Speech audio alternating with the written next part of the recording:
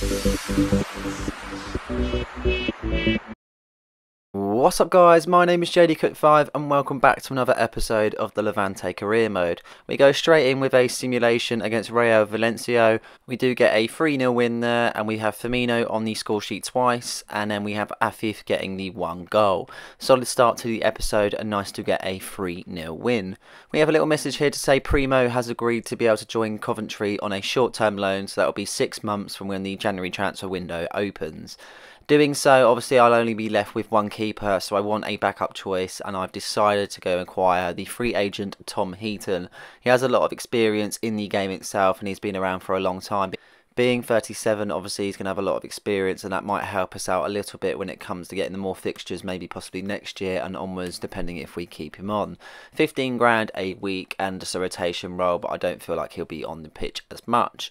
We do simulate another game against Osasuna. We just get a 1 0 win with Otamendi getting on the score sheet this time round glad we can just get wins when it comes to simulation. We seem to be quite lucky in regards to that. So it was nice to be able to gain six points from two games. You see, we get a manager offer to be able to manage Real Sociedad. Obviously, this career mode is solely about Levante, so I am not interested whatsoever. We do get manager of the month also, so I think they might be looking at us and see what we're doing at Levante and kind of going from there. I wasn't really interested whatsoever being the kind of career mode that we wanted to do, and we will go from here and hopefully we can build on better things. The next game we do have is against Real Madrid. Obviously, this would probably be the biggest game that we do have. I know we come up against Atletico, but I think from now, I think this is the biggest game that we have played. A lot of preparation going into this, and kind of a lot of determination that we need also to be able to beat this sort of side. Being able to compete in this league, we need to be beating these sort of teams just to be able to kind of be up there and be above and beyond. They have a better defence compared to anyone in the league. 15 goals against them compared to what we have, but we are the highest scoring team in the league with 35 goals scored in 15 games. So, bit of a contrast in records there. So, they're the best defence, but we're the best attackers. So, you never know, it might turn out in our favour. A snowy Bernabeu this time round being in December. We side the lineup of Danny Cadaras in goal as always. We have Gallardo, Conti, Alyamik, Williams as your back four. As your midfield three, we have Hamsik, Cherki, and Pepelu. And in your front three, we do have Masuaku, Firmino, and Nusa. Real Madrid start the game really well, being in these treacherous conditions. A nice bit of play there between them, and Benzema nearly finds the back of the net. A nice save from Candieres, and he had to be on his toes for that one. In the 22nd minute, Firmino goes on a nice bit of run here, and his skills were completely unreal. He completely chops his man, and all he has to do is put it in the back of the net, but unfortunately Courtois does save. Bit of a strange angle, but, but to get there, that was unbelievable skill from Firmino, and I didn't expect that from him.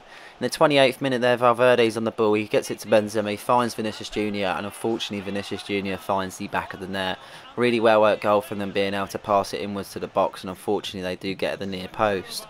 Going into the second half again, they were the same. We had nice clearance from Al Yamik there. If that went across, they would have scored. We tried to make some changes coming in the second half because I don't feel like we played as well in the first. Changing up there just with the attacking Grant and De Frutos come on, and we want to change the midfield also. So yeah, just just changing it up, freshening up new ideas, and kind of going from there.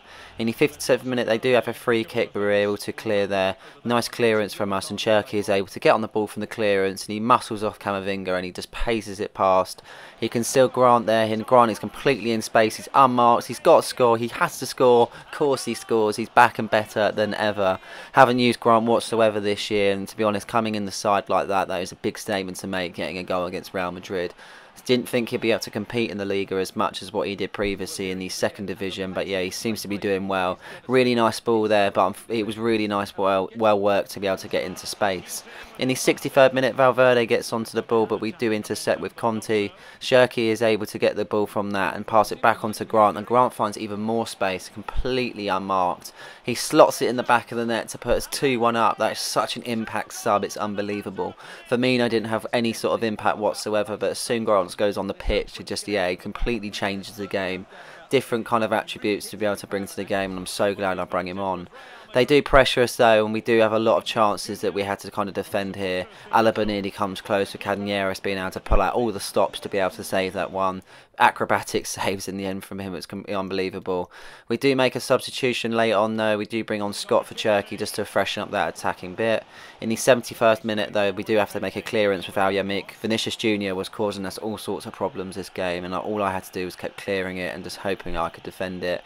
In the 89th minute there, we do play it out from the back, and De Frutos is able to find Scott. Scott runs a little bit, and he finds Grant, and Grant is complete unmarked again. I don't know what they were doing, and he's actually got his hat trick. An unbelievable impact substitution, and probably one of the best today, in all honesty.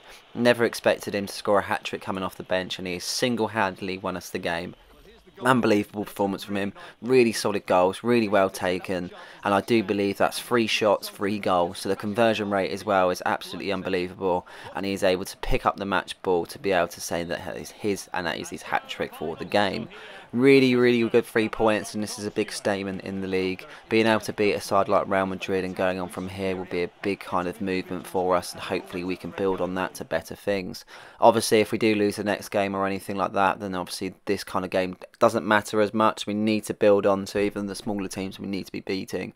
A nice praise from the manager to Grant here, just to be able to say that, yeah, well done, completely changed the game, fair enough, and yeah, just unbelievable performance in the end. Really well worked and a good strategy to be able to bring him on so early to be able to affect the game the way he did. Going into the next game, we come up against Real Betis, a really strong side and someone that we played in the Cup previously. We do get a 2 0 victory from beforehand, so we'll see what we do here. The lineup will be Danny Cadañeras in goal, and then our back four will be the lineup of Gallardo, Conti, Kolasinac coming in from Al Yamik, and Sriracha coming in for Williams. Midfield three being Vargas, Scott, and Pepelu. Pepelu keeps his place in the side with Scott coming in, and also Vargas. And then Afif Grant gets his place, and De Frutos also gets a start. Really strong start from Betis, a really quick one as well, to be honest. They get the ball quite early on and they're able to put a few passes in the edge of the box. Nice save from Cadañeras, and he had to make sure that his post was covered. In the seventh minute, though, from the corner, that from what he saved originally from that shot, they do get it into the box, and Sriracha completely mistimes it and just takes his man out with the ball. Unfortunately, no attempt for the ball whatsoever being made, and yes, it was a penalty. As much as hard that is, that is hard to admit. Obviously, there's not much we can do. It's a 50-50 chance. We are decent with saving penalty of Dani Cadañeras, but unfortunately, this time round, he does convert it. Really solid goal. He puts him the wrong way, and yeah, good penalty. He gave the keeper the eyes and just completely sent him the wrong way, and that is them 1-0 up. They were really strong in this game, to be honest, passing the ball about, but I was able to catch them out in the 18th minute with Scott being able to intercept the ball there. One on one with the keeper, I thought he was going to bury it, but unfortunately the keeper makes a massive save from them and I get it nice and clear from them. In the 32nd minute, they keep coming at me with waves of chances, but I do get a lucky break near to the end of the first half. Afif makes a blazing run, switching sides on the right hand there. He cuts across the defenders and slots it in the back of the net to put us 1-1 going into the second half. Really important goal from Afif and it kind of stands us in better stead going into the second half. A real poor performance in the first in all honesty and a lot of chances wasted so I'm glad he was able to take that. We don't start the second half any better in all honesty and Paulinho is able to smash the back of the net to put us two, put them 2-1 up, sorry really poor chances that we've been conceding in all honesty and something that we could have really stopped. Didn't take us too long though to be able to get in with Grant and Grant makes his mark once again to be able to put it in the back of the net to get it to 2-2. Really strong statement from Grant having the hat-trick from previous game and then obviously scoring this game also. Just makes me wonder if he is worthy of a start. We do make some substitutions not long after the goal just to freshen it up. Scott comes off for Cherki, some wasted chances from him. Bakary comes on for De Frutos with him not making much impact and Hamsik coming on for Vargas. Again, we do make another change there just to change it up with Pepelu also coming off. We do get another goal from Betis, and it just it was so annoying. Every time we scored, they scored, and it was just so on. But we couldn't stop the wave attacks. Really poor goal, in honesty, and the passes just went straight through us. I didn't really know what was coming. But as soon as they get into the ball on that sort of area, they just score that was it for the rest of the game. We do lose 3 2, and it's a real disappointing performance, in all honesty. Not being able to get some sort of result against them after beating Real Madrid was really poor, and unfortunately, we don't get all the three points. I was hoping to maybe get an equaliser to the end, but it wasn't to be.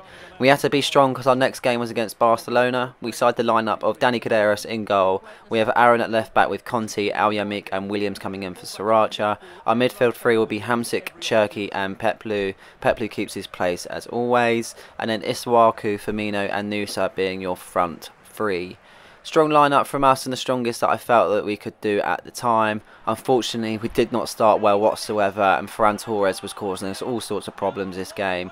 Four minutes into the game, he already makes his mark and a really strong goal from them.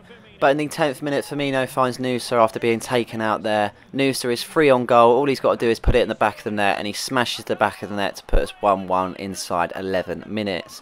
Really solid goal from us and a good opportunity taken. Nice to be able to get the goal there and get back into the game straight after they was get an early goal. This game was completely action packed though, and honestly, the goals kept on coming. In the 24th minute, I thought Pepelu was able to convert there, but ter Stegen makes himself big, and I don't feel like we didn't really chance him as much. In the 25th minute, though, we do get the corner, and they was able to get it out, but not as far as Cherki. Cherki picks up Hamsik, and Hamsik slots it in the back of the net to put us 2-1 up inside 26 minutes. Really solid goal from Hamsik, and it's really nice he was able to get on the score sheet. He's definitely rolling back the years here, and it's a shame that he's retiring at the end of the season, in all honesty, because I feel like he's been really useful this season. After going 2-1 up, Barcelona piled on the pressure and Dani Cadaras had to be on his best game because he had to keep pulling out the stops, comes really well out here and gets the save even having to go down and then going back up. They kept getting chance after chance and it wasn't going to be long until they scored and unfortunately in the 41st minute Ferran Torres is found again and he gets his second of the game. Really important goal for them and they get straight back into the game just before the second half.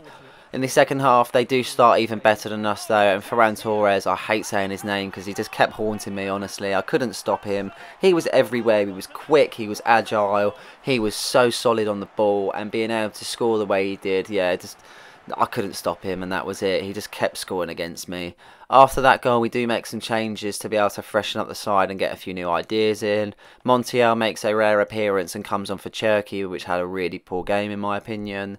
Just wanted to freshen up the midfield, and I'm glad I did in all honesty, because in the 57th minute, Issahaku gets on the ball there. He passes a nice ball to Montiel, who is able to get a load of space. All he's got to do is put it in the back of the net, and so he does really well worked from us and a really nice goal to be able to get from Montiel. Obviously, we haven't seen much of him this season and signing late on in the deadline day and then obviously not using him as much. Really well composed from him and that gets the equaliser to get us straight back into the game with plenty of time left. In the 59th minute, we do get another chance here. Nusa picks out Montiel, who picks out Firmino, and Firmino puts it onto the post, but it goes straight back in the net.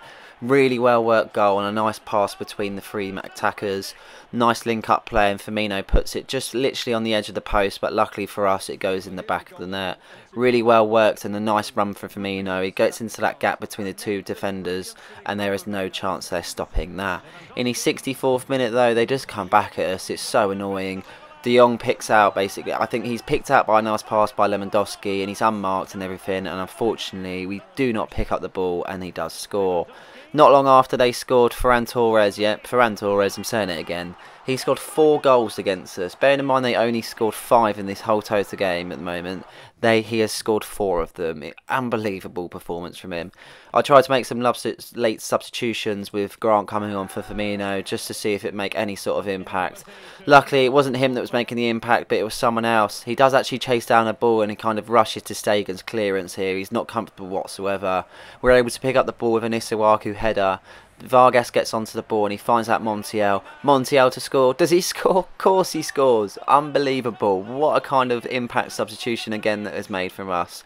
Really important goal from us and that does solidify the points making it 5-5 overall. So that's 18 games played now. We have won 12, we have drawn 3 and we have lost 3. Obviously, looking at the table, we are three points off of top and one point off a second. We have Real Madrid that are far behind us, to be honest, so it's only about the top three at the moment.